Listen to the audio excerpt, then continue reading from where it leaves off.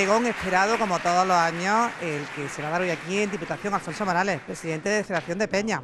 San Rafael llega. San Rafael es Córdoba, San Rafael es Peña, y Rafael, San Rafael en Córdoba es la Peña que debe hablar. Pues sí, ya ha llegado este pregón, ya es mi cuarto pregón, y para este cuarto año, ya que sería ya prácticamente el último de esta primera legislatura, pues se lo propuse a una persona muy querida en nuestra Córdoba, en todos los aspectos sociales y en todos los colectivos, como es Francisco Mellado Calderón, y no dudo en aceptarlo, así que para las peñas de Córdoba, para los hombres y mujeres que formamos este tejido social, es un placer y es un honor que hoy sea Francisco Mellado el que pregone a, nuestro custodio de Córdoba y a nuestro patrón de las peñas como es San Rafael. ¿Qué nos va a esperar esta noche aquí en este pregón? Por, sobre todo exaltar a, a San Rafael, ¿no? al custodio de, de la ciudad de Córdoba y toda su variante, sobre todo la parte más social, sin olvidar la parte religiosa, puesto que San Rafael no tendría sentido sin, sin su parte religiosa, pero la parte más social y ese San Rafael cotidiano que está en nuestro, nuestro día a día. Aquí se va a ver mm, mucho cariño, porque entiendo que hay mucho cariño, y por parte tuya, aparte de ese pregón, ¿qué más va a ver? Pues no, un pregón, un pregón al uso, un pregón en el que va pues, mezclada un poco de verso, un poco de prosa, pero vamos, eh, un pregón.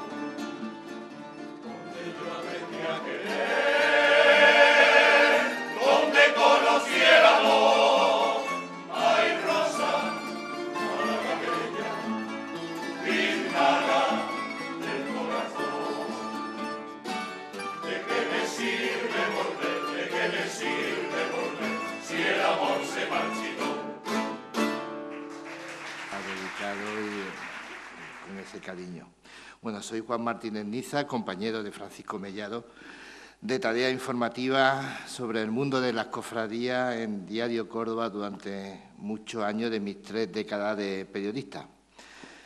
Y lo primero que creo que debo hacer es felicitar a la Federación de Peña por la festividad de su patrón, que eso es lo primero, viva San Rafael, y además por la elección del pregonero de este año. Para presentar a Francisco Mellado, bueno, hoy en día ya no es fácil presentar a nadie porque está Google. En Google viene, viene todo. Google está terminando con las presentaciones. En San Google, con permiso de otros santos que sí lo son, señor custodio, ya está todo, incluso lo que no tiene que estar. En todo caso, basta consultar Internet para saber los méritos y las virtudes de Francisco Mellado como pregonero de San Rafael. Y recordar que también fue, por ejemplo, el saltador de la Semana Santa 2017, la más difícil de pregonar porque todo iba a ser nuevo con el traslado de la carrera oficial en torno a la mezquita catedral. Y también fue Francisco Mellado, pregonero de San Álvaro, patrón de las cofradías y de la Merced, su hermandad, y de San Cayetano, y de Carmen de San Cayetano, de la Virgen del Socorro, y de la Angustia, a exaltada la saeta, a la trabajadera, a la cuaresma, o sea, eh, lo dicho, todo eso viene en Google y también uno puede enterarse que Francisco Mellado es el mejor conocedor de la historia de este edificio, del Palacio de la Merced, y en la historia de este edificio en todo su siglo fue lo que le hizo ganarse el doctorado en Historia del Arte. De hecho, Paco eh, es a buen seguro el mejor conocedor del legado mercedario en Córdoba y aún en Andalucía. Así es, los cordobeses somos de esa manera, y yo el primero, tenemos una cierta tendencia a despistarnos, a dejar en un segundo plano cuando no a ignorar los méritos de nuestros paisanos. Bueno, también en Internet puede consultarse los cientos de artículos y crónicas cofrades eh, que ha escrito en Diario Córdoba desde hace 12 años y cómo ha evolucionado, perfeccionándose aún más eh, Paco como colaborador, de prensa. Ya digo, todo esto está en Google. Pero si tengo que cumplir como presentador, le voy a contar las cosas que no se encuentran en Internet eh, sobre Francisco Mellado. Por ejemplo, en esa última faceta que he comentado de cronista cofrade en prensa, he de decir que de Francisco Mellado he aprendido muchísimo y lo sigo haciendo. Ya tenemos dos. Y además, em, ¿cómo escribe Francisco Mellado? Y a la vez, ¿cómo no escribe Francisco Mellado? Decía la periodista Margarita Landi, la del periódico El Caso, no sé si se acuerdan, decía, un periodista no se inventa ninguna historia, un periodista se calla a la mitad, porque si no, porque si no entonces se lía. Y efectivamente, ser periodista, antes que nada, es un ejercicio de responsabilidad.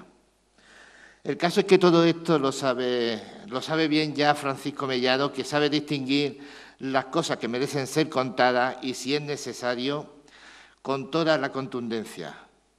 Esa es otra porque cuando Francisco Mellado se pone duro, no sé si se acuerdan de la frase esa que dice puño de hierro en guante de seda. Pues bien, Francisco Mellado no es escribiendo de los que se miden a puñetazo, pero sabe dar uno más que medidos, certeros y precisos latigazos. Latigazos de seda, pero latigazos. Escuchen, si no, entre líneas sus palabras en este pregón. Y estoy convencido de que me darán la razón que entre la prosa y el verso bien hilado cabe la ironía y el humor, dos características inherentes a la inteligencia que tiene en sí también mucho de divino. Que Dios nos pide que seamos hermanos, pero no primos. Termino. Por segunda vez quiero felicitar a la, Federación de Peña por haber escogido a don Francisco Mellado para el pregón de este año, porque pocas, poquísimas personas pueden explicar también lo que de fiesta y humano hay en la vida cofrade y bajo la sala de nuestro Señor Custodio. Y a la vez lo mucho que de divino y espiritual se puede encontrar en las peñas, en ese aparentemente simple pedón, pero al que no le faltan trazas de actos religiosos, de exaltación a la fraternidad, de caridad, de comunión. Señoras y señores, el pregonero, con muchísimos méritos como los que he contado, pero además amigo de sus amigos, compañero de sus compañeros, me estoy emocionando, y sin haber sido nunca, nunca un primo, hermano de sus muchos hermanos, don Francisco Mellado Cárdenas.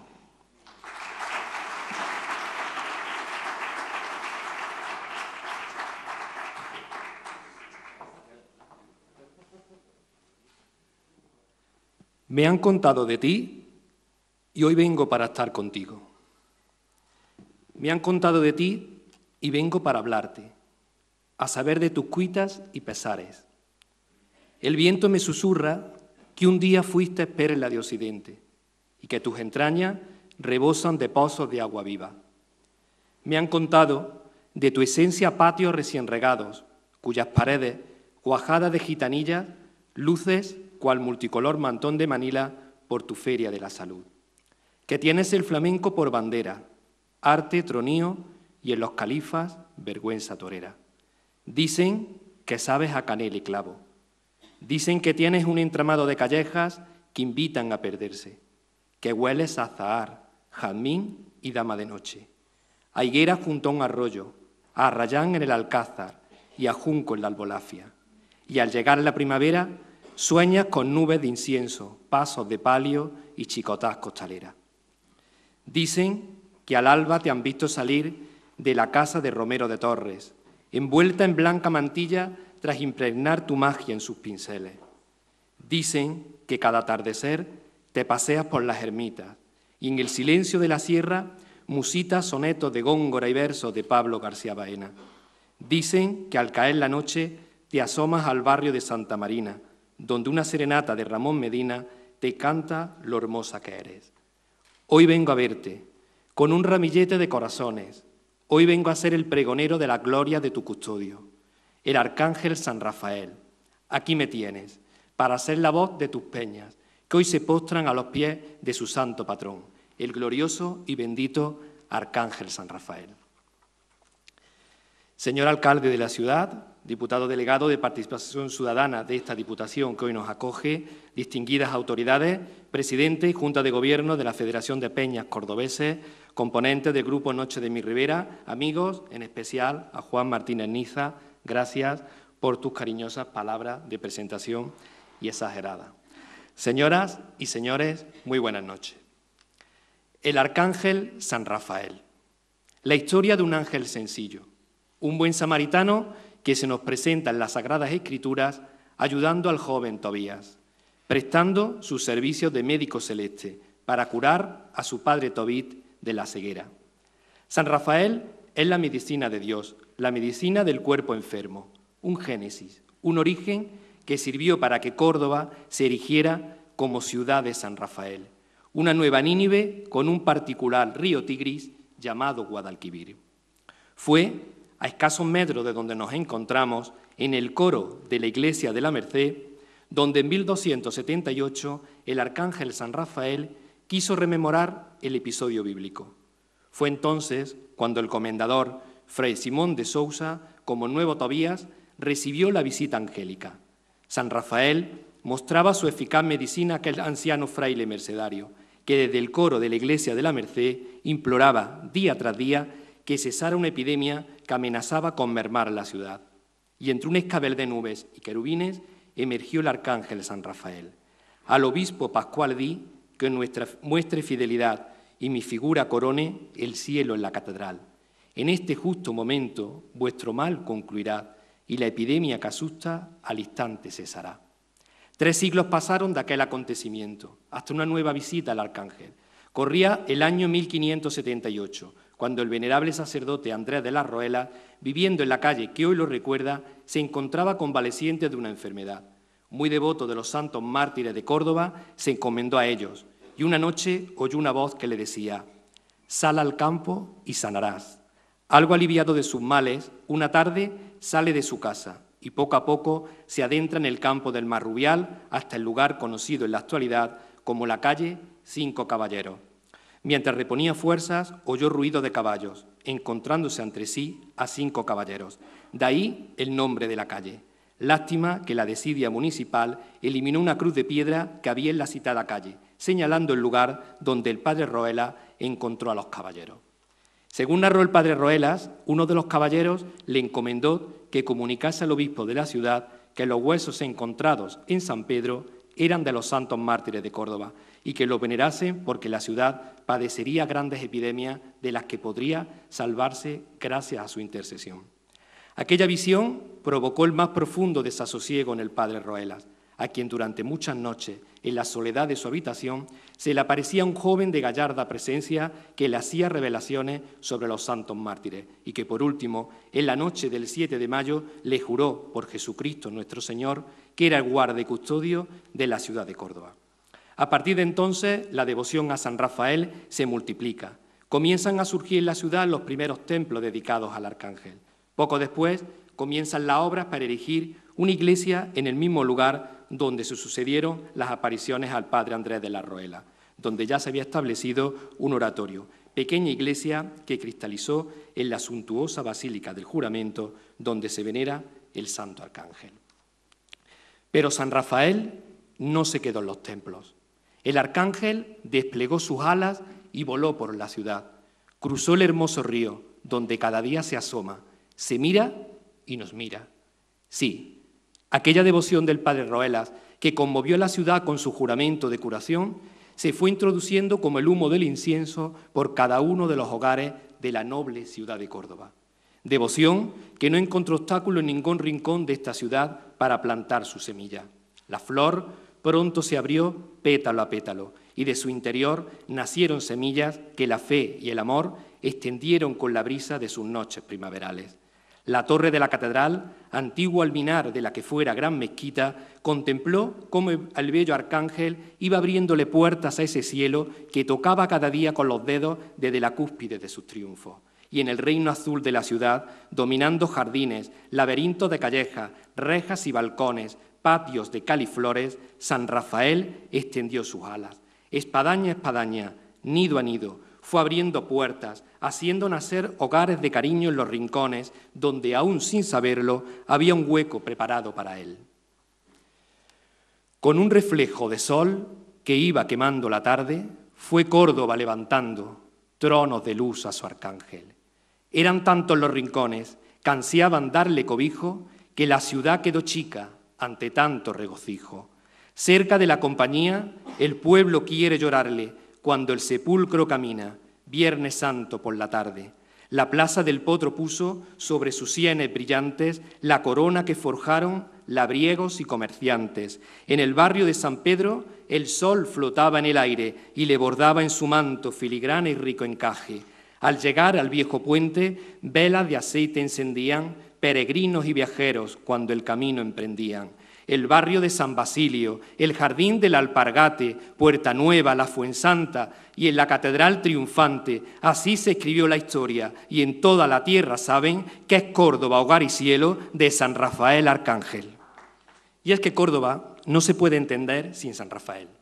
Como dice aquella vieja letrilla, nuestra esperanza en él nunca se borre quien no ama a San Rafael, ni aquí ha nacido, ni sangre cordobesa por él corre.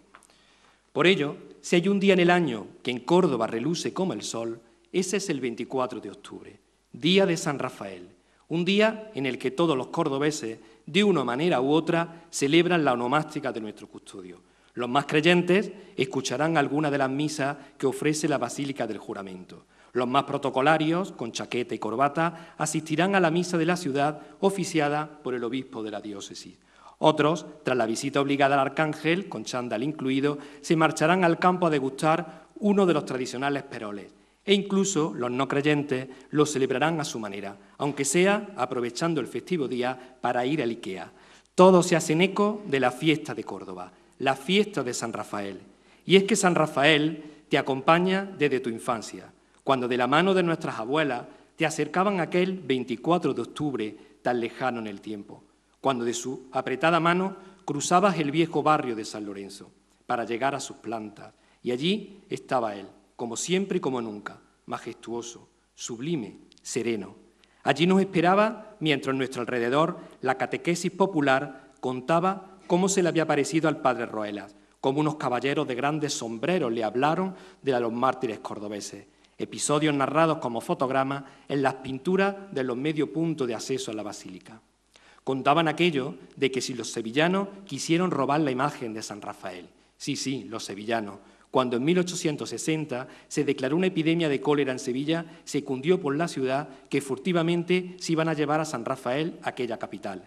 Todas las noches se quedaban en la plazuela algunos vecinos del barrio de San Lorenzo armados de gruesos palos para oponerse a que tal cosa se hiciese. Y tantas y tantas otras. ¿Qué serían las tradiciones populares sin nuestros mayores? Esas entrañables personas que siempre han estado en nuestra vida. Unos mayores que tanto saben de nuestras costumbres. En cierta ocasión, para elaborar un artículo con motivo del Día de San Rafael, me fui a una residencia de ancianos y pregunté qué significaba el día de San Rafael para ellos. El hecho fue toda una experiencia vital. Jamás olvidaré lo que de su recuerdo brotaba.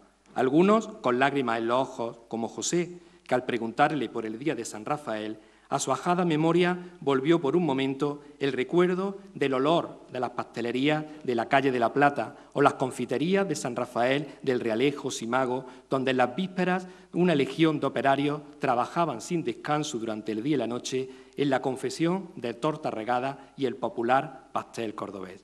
O los recuerdos de Lola, una octogenaria señora en el que ese día no podía olvidar a su madre.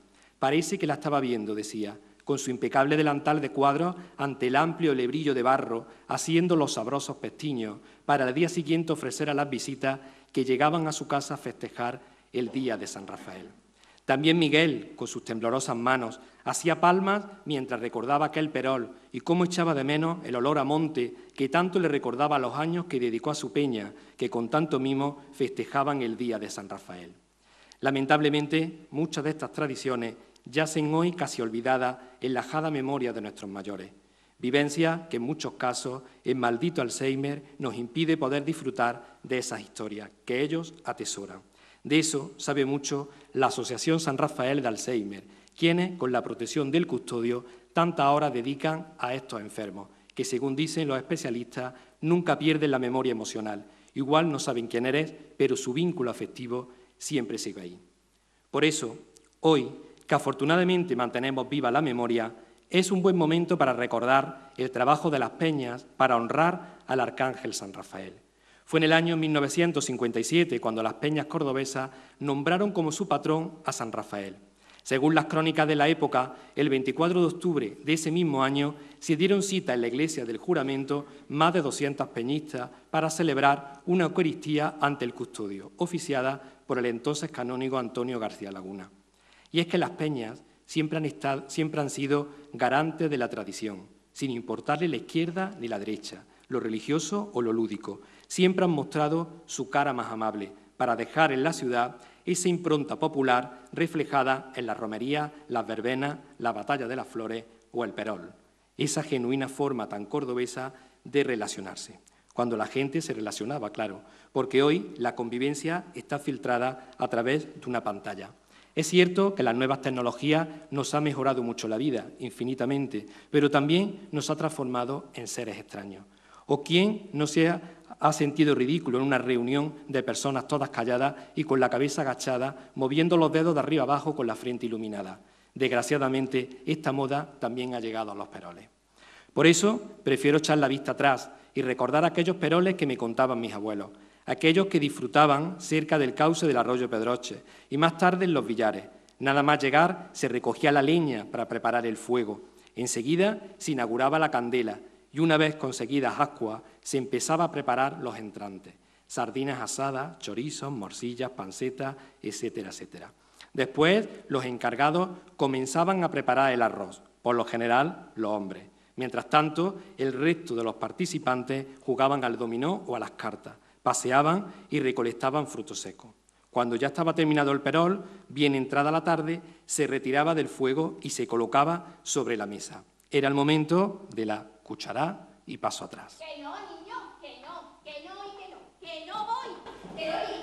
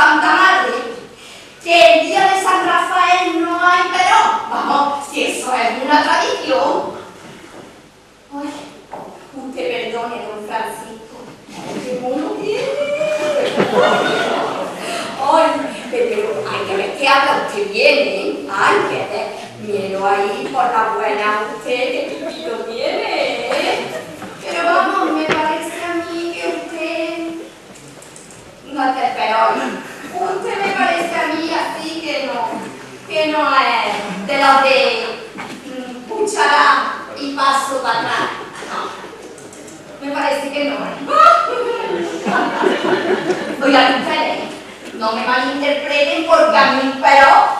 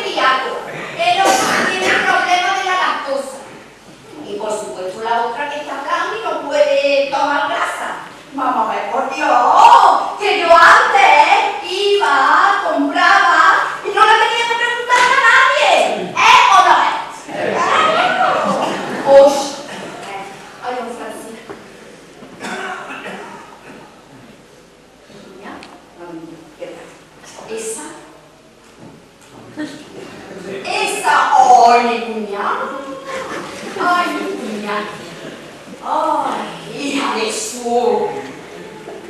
De su madre, ¿eh? No malinterprete, hija de su madre. Esa es de la que se apunta todo, por eso digo que es raro no esté aquí, pero luego no da nada. ¡Ay! Ella con ¡ay, es que yo no como casi nada! Este don Francisco, que yo no paso calamidades, porque mi Rafael está muy bien colocado. Sí, pero vamos que tampoco soy el campo de España. y la tía, la tía dice que no come nada. Y en el último verón repitió cuatro platos de arroz. ¡Cuatro! Sí. Y el jamón porque se lo puede esconder, si no. Vamos. Ay, y el graciosillo. ¡Ay! ¿Qué me dicen ustedes del graciosillo? Venga lindos, de linda, y hasta los cuerpeos. ¡Ay, ¡Ay! Y para rematar, hay un falsico. La hija de mi cuñada, o sea, se, mi sobrina. Amado la valió y la niña que anda bien niña. Se quiere presentar al concurso ese de la copla, que hace la federación. vamos, el jurado le hace la curva. No se nada más que real. Y por lo visto hay una tabla del jurado que se llama Carmen Israel, que la tía es de ciencia.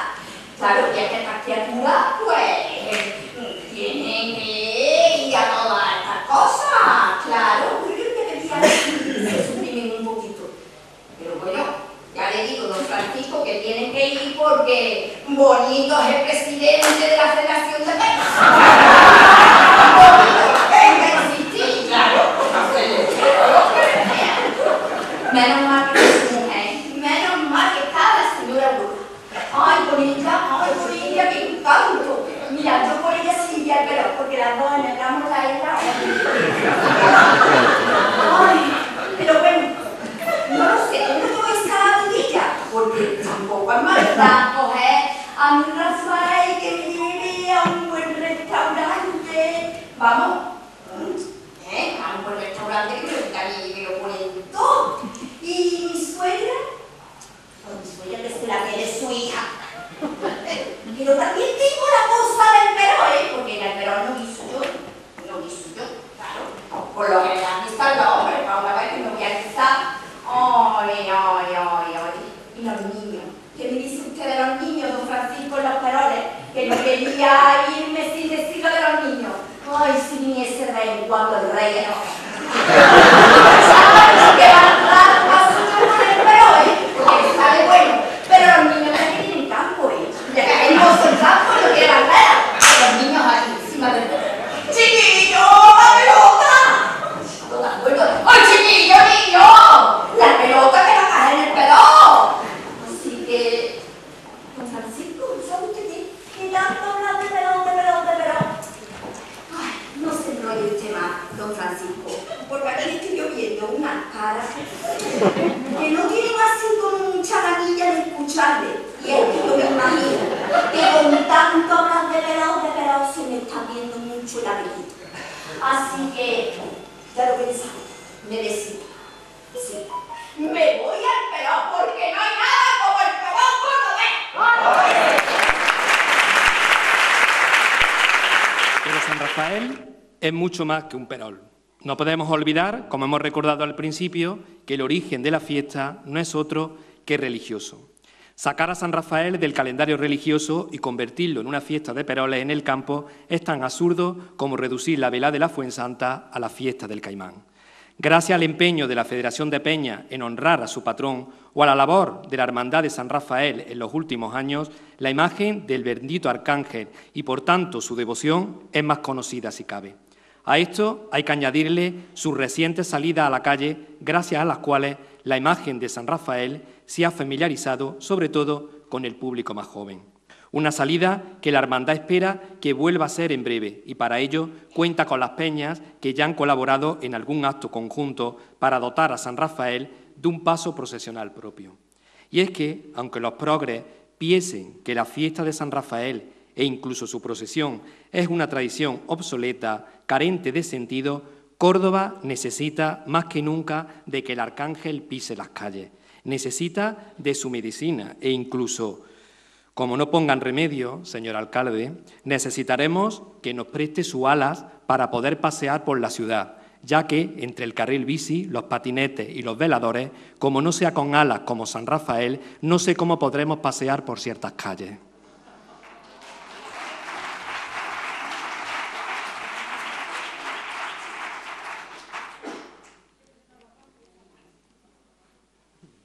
San Rafael hace falta en una Córdoba a la que con un poco de cariño en unos años podría brillar como aquella perla de Occidente que fue. Y es que San Rafael no es tonto y se vino a vivir a la que probablemente es la mejor ciudad del mundo. Por todo, San Rafael, no nos dejes de tu mano. Sé siempre nuestro custodio, el patrón de tus peñas, el guía en nuestro camino. Desde lo alto de tus triunfos, sigue vigilando a Córdoba. Acompáñala en su día a día. No nos dejes, San Rafael, despliega tus alas e ilumina a todos aquellos que piensan que la modernidad y el progreso se consuman acabando con las tradiciones de un pueblo. No nos dejes, San Rafael, despliega tus alas, sé bálsamo para todos los cordobeses que sufren la lacra del desempleo, en su mayoría jóvenes que se agolpan día a día en la oficina del paro. Al mirarlo, pienso en sus padres, en la sensación de fracaso que experimentarán al comprobar cómo todos los proyectos que hicieron para ellos se derrumban sin que nadie haga nada. No nos dejes, San Rafael, despliega tus alas, sea amparo para los inmigrantes. En su triste mirada se puede ver esa llamada que nos hacen al primer mundo, a una sociedad civilizada que en ocasiones mira hacia otro lado, mientras estas personas, hermanos nuestros, cubren sus ilusiones con lápidas de sal y agua en el fondo del mar. No nos dejes, San Rafael, despliega tus alas y auxilia a las mujeres que sufren maltrato. Busquemos en tu mirada un mundo en el que la violencia doméstica y de género no tenga cabida y la mujer no sea objeto de explotación o exclusión de ningún tipo. No nos dejes, San Rafael, despliega tus alas, porque tú serás por siempre guardián en la vida, capataz en el camino, puerto de nuestras almas y dueño de nuestro destino. No nos dejes, San Rafael, despliega tus alas, reza por tu cofradía, que te guarda y venera, llevándote a porfía, dulce y fiel centinela. No nos dejes, San Rafael, despliega tus alas, que la devoción hacia ti siga brotando y brotando, y que avance como avanza la enredadera en los patios. No nos dejes, San Rafael, despliega tus alas, sé el arcángel protector de la ciudad donde Dios te mandó por siempre ser, guarda, auxilio y consuelo. No nos dejes, San Rafael, despliega tus alas, intercede por tus peñas, garante de tradiciones, que como patrón alzan al dueño de sus corazones. Muchas gracias.